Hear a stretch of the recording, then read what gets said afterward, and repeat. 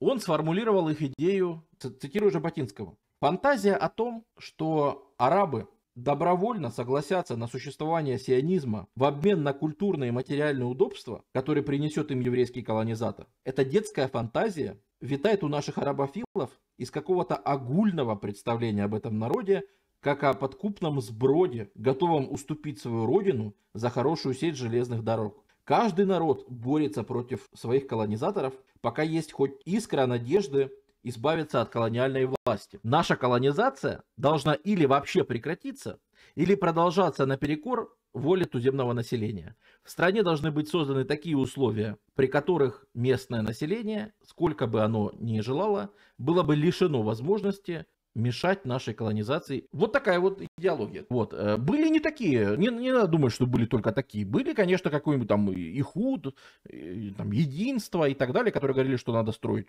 страну, в которой арабы и евреи будут жить в мире, э, будут жить, значит, э, ну, двунациональная страна. Но, честно говоря, это какая-то идеология, вот в чем, наверное, Жаботинский был прав, что это фантазии, какие-то детские фантазии о том, что, то есть очень много разговоров, особенно среди британцев было в тот момент, что, ну, вы знаете, наверное, мы сделаем государство из Палестины, но это будет такое двойное государство для евреев и арабов, в котором все будут жить вместе, и, короче, все будет прекрасно.